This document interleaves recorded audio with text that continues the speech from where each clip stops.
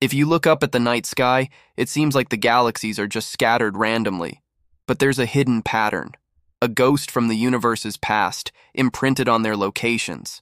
These are the baryon acoustic oscillations, and they're like cosmic fossils of the very first sound waves. Imagine the early universe, a hot, dense soup of particles and light. Tiny fluctuations in this soup created ripples, like dropping a pebble in a pond. These sound waves expanded outwards at over half the speed of light. Then, about 380,000 years after the Big Bang, the universe cooled enough for atoms to form. The light was freed, becoming the cosmic microwave background we see today, and the sound waves froze in place. Those frozen ripples, now immensely stretched by cosmic expansion, became the seeds for galaxy formation. We see them today as a slight tendency for galaxies to be separated by about 500 million light years.